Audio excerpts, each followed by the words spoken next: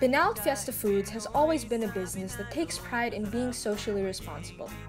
From our CSR programs such as Dahon to the exciting Harvest program, we strive to take initiative and become the avenue to help give back. But our advocacy doesn't just end with sustainability. During tough times, we accept pledges so we can give out meals to those who need it. Like in 2009, Binalot's relief efforts were on hand to help flood and typhoon victims following the aftermath of Typhoon Ondoy. And today, we will continue our efforts to reach out through the help of private companies and individuals who support our drive to feed frontliners during the COVID 19 pandemic.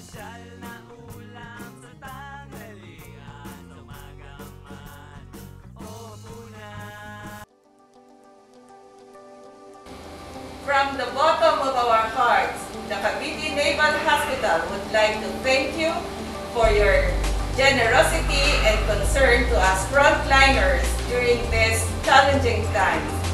The Team Cavite Naval Hospital, God bless, more power, and thank you, Inalot!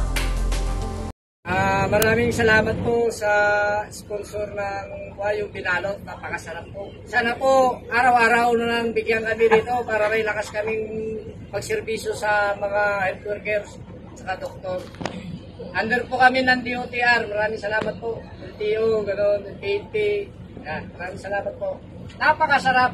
Salamat, Binalot.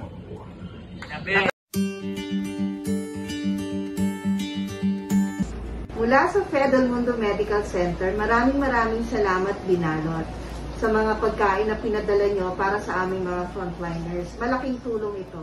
Maraming maraming salamat.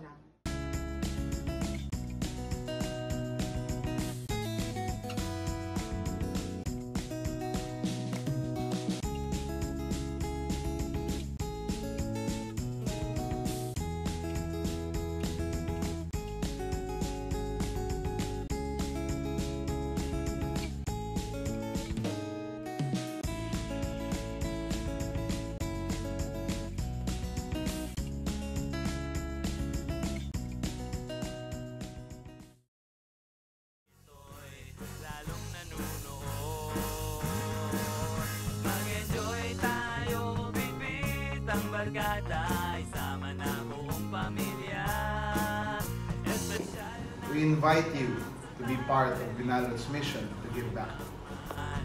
Opunan,